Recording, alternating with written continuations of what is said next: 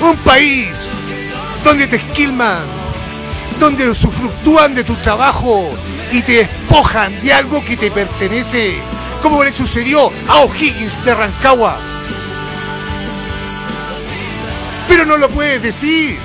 ¿Por qué no lo puedes decir? Porque eres un cobarde y tienes miedo a que te quiten y tienes miedo a que te insulten y tienes miedo de que te amenacen. Yo no le tengo miedo a nadie, ni siquiera a cuatro balazos, porque soy de verdad fuera de genial. Soñar es gratis, Marco. Entonces tú puedes hacerlo. Y ese soñar que es gratis, no puede venir un tipo neurótico, arrugador, y a mí yo no me vengo aquí con que la gran campaña de la U, la Copa Sudamericana, que la gran el torneo de apertura, no, yo no quiero disfrazar la cuestión si yo no soy así. Yo no estoy, yo no, yo no le digo, oye, que eres linda, que eres, preciosa, que eres después, pero no me gusta ahí. O sea, no, yo no disfrazo la cuestión. Pasó la Copa Sudamericana, pasó el torneo, de, pasó. Yo no tengo ningún recorte mío guardado, ninguno, y no me interesa. Yo no soy de los que ando poniendo, ando poniendo fotos mías en mi casa. No sé si hay fotos mías. Ni siquiera eso. No me interesa. En el partido ponen un tipo absolutamente con disposición en contra de O'Higgins de Rancagua o en contra del adversario que le tocara jugar en contra de la U porque es de la U. Que no tiene idea de lo que es la objetividad que no tiene idea de lo que es la corrección, que no tiene idea de que es juez, que no tiene idea de lo que es matar sueños,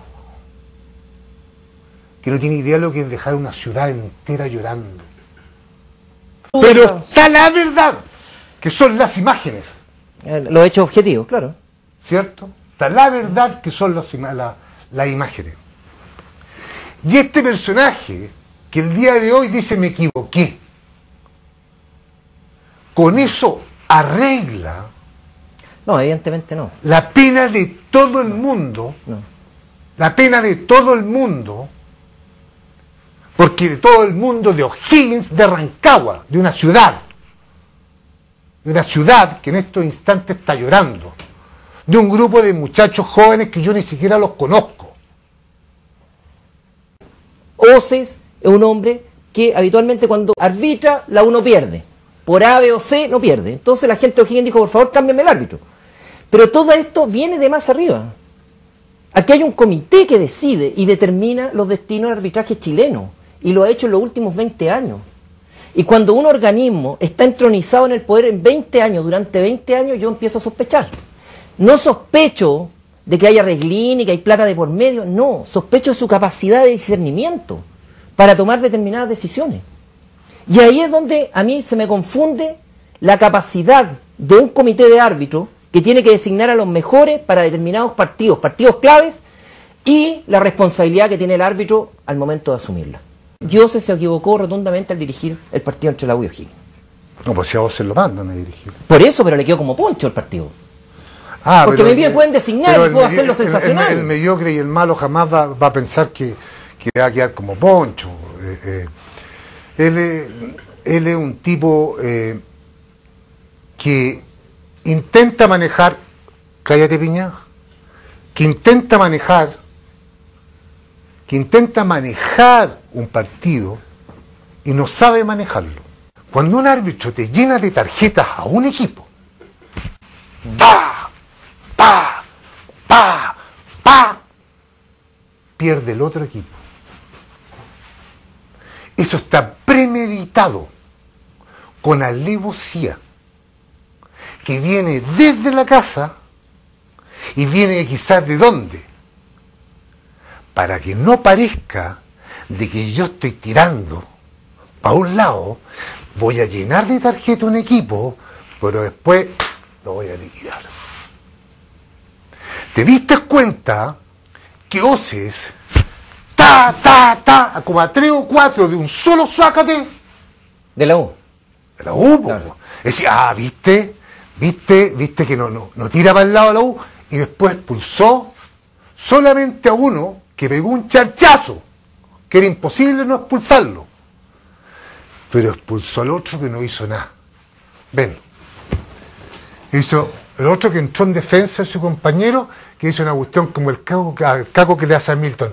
¡Ay! Así. Fue una cosa así. Nunca te olvides, el árbitro que muestra tarjeta, que muestra tarjeta, que muestra tarjeta, es, después perjudica al otro equipo. Con un penal, con un tiro libre, ahí en la raya, en algún momento, con alguna cosita. Oces no es un buen árbitro y nunca lo ha sido. Hasta el momento no ha dado pruebas de suficiencia de ser un buen árbitro. ¿Bajo qué criterio entonces el comité lo No, no, no, coloca? no, no. Marco, pero perdóname. En estos momentos tú estás hablando si es bueno más o menos o malo.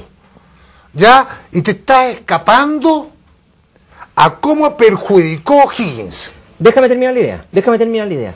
El problema de Oces, y este problema que nosotros lo detectamos no estando al lado de él, no estando dentro de un campo de juego, es precisamente un tipo que no tiene, no tiene su inteligencia emocional acorde con la exigencia, Eduardo. Un tipo que se va negro, es un tipo que no tiene... Esa es la gran chiva, pues que te vaya negro, weón. ¿Cuándo has visto ¿Cuántos, cuántos, cuántos dicen que se van a negro, weón? Es que, ¿sabes qué? Yo no me atrevería... ¿No habéis visto un chofer del Tran Santiago que diga cuando choca con un poste con 50 pasajeros, es que me fui a negro? Es que a lo mejor no lo sé, no lo sé las situaciones particulares. Nunca, nunca he visto un chofer.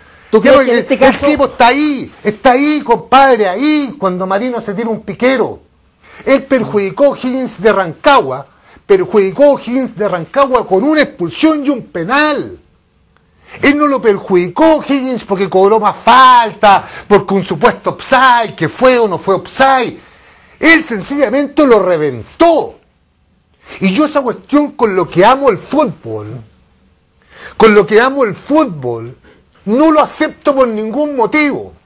Y el día de mañana a lo mejor defiendo al equipo que salió ganador con esto. También igual. ¿Por qué? ¿Por qué lo designan este tipo de árbitros? ¿Por qué No, razón? es que tú, tú no, tú no me estás entendiendo. Es que, Eduardo, déjame tú terminar la idea. estás diciendo súper. déjame estás- terminar la idea. Súper bueno. sí. Es que es bueno o que es mal árbitro. No. ¿Qué pasa con- Saqueó. Sí. Saqueó y le quitó la copa a O'Higgins de Rancagua y así se habla. Eduardo. Los tibios van a, man- van a mantener toda la vida de trabajo. Ok, yo te estoy dando... Analiza tú los tipos de televisión, analiza tú los tipos, todos estos tipos que escriben, ya. Hay uno, hay uno que se ganó el Premio Nacional de Periodismo, Sí, pero ese premio... que no es, no es Felipe Bianchi, Sí. y usufructuó del Ministerio del Deporte. Así es. Usufructuó. Así, así fue. Y el señor Salá tuvo que ir a declarar al Congreso, ¿sí o no? Sí. ¿Ya? Y se ganó el Premio Nacional de Periodismo. ¿Sí o no? Sí, está Ya. bien. Entonces, es que yo estoy poniéndolo en otro nivel, no, no, tibio, no tibio. No. A mí no me interesa que Es que- no me interesa que vaya al mundial. Me da lo mismo, me da lo mismo que se llame Ose, que se llame, no sé, que, se- que- Pero ¿cómo, que- Eduardo, sea un pariente mío, me da lo mismo. Es que yo no estoy, yo no, ¿Mm? yo aquí hay un sueño de una ciudad, compadre. Hay un Sí. sueño de un equipo de fútbol. Hay un sueño de un cuerpo dirigencial. Mira, los dueños son los Ahumor. ¿Sí o no? La familia Humor, sí. Tú tuviste la mala suerte, o sea, la mala ocurrencia de presentármelo. Sí, eso ya lo conversamos en un programa anterior. Ya, no, pero, pero déjame. Sí. Yo fui a comer, a almorzar, me invitaron a almorzar. Se lo recuerdo. Ahumor. recuerdo. Sí. No, tú no estabas ahí. Ah, cuando fuiste, fuiste Ya, ya, vale. Estaban los tres. Yo lo único que recibí del padre fueron improperios. Yo todo el rato en el almuerzo recibí improperios. Pero como yo tengo categoría y tengo clase, no respondí. Y en estos momentos mira lo que es la vida. Le estoy defendiendo su club. Así soy yo, compadre. Soy de verdad. Sí lo voy a hacer una crítica a San Paoli. Porque futbolísticamente tú no le puedes criticar a una persona que ha llenado de éxito al fútbol chileno, porque en realidad lo ha llenado de éxito con la U, ¿ya? Aunque este título es inmerecido.